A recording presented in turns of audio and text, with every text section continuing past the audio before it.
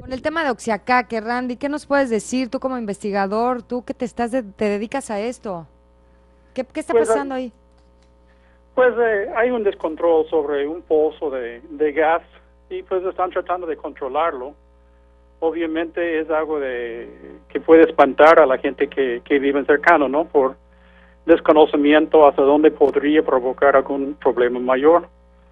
de ser gas en vez de petróleo hay ciertas ventajas en términos de que contamina mucho menos. O sea, el, el área que podría quedar contaminado va a ser menos de que si fuera, por ejemplo, un derrame de, petróleo, ¿no?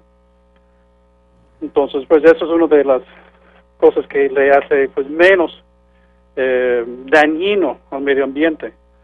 Claro que para la gente que vive allá, pues el espanto, ¿no? De tener la, pues la fumarola ahí cerca. Pero ahora, en cuanto a la contaminación del aire, Randy, ¿no es significativa desde tu punto de vista? Pues hay fuentes de contaminación de aire. Eh, si, si vemos, eh, no hay mucha densidad poblacional ahí cerca de, del pozo. los otros fuentes que tienen simplemente por el uso de leña al momento de cocinar, uh, el tráfico eh, de los camiones que, que lleguen allá, pues pueden ser bien algo, tal vez a menor grado, pero es algo constante, es de todos los días. Y la, la afectación a la salud de las personas um, por esas causas van a ser mayor que por este pozo, que ahorita pues es, es algo fuerte. Lo bueno es que la mayor parte pues pues va para arriba en esas fechas, ¿no? No tenemos así eh, incidentes muy, muy, muy fuertes. ¿Qué procede aquí en este lugar? ¿Qué se tiene que hacer para controlar la situación?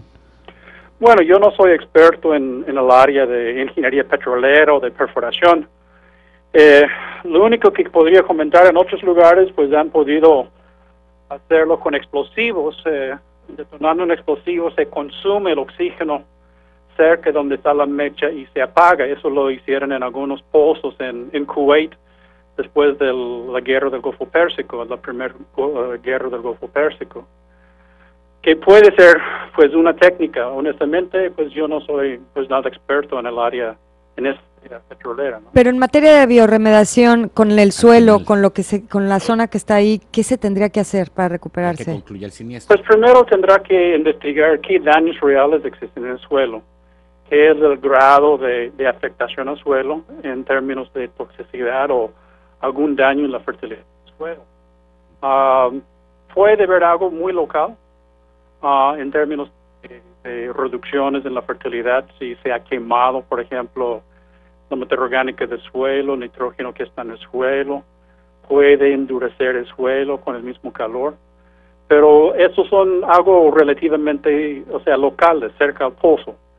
Ah, si se ve alrededor del pozo, la mayoría es pantano.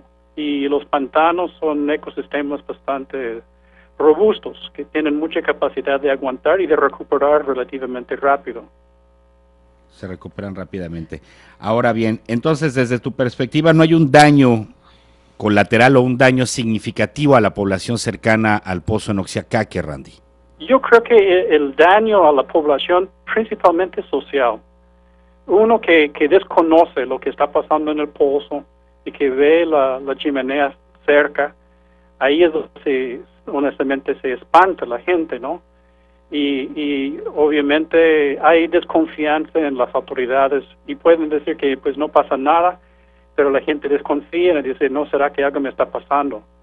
Y, y ese sentir, ese, ese problema de, de desconfianza con, con las autoridades, y de, sentir que algo me puede estar pasando, yo creo que esa angustia es lo que es el mayor daño que, puede haber ese ese aspecto social de ese de ese descontrol, ¿no?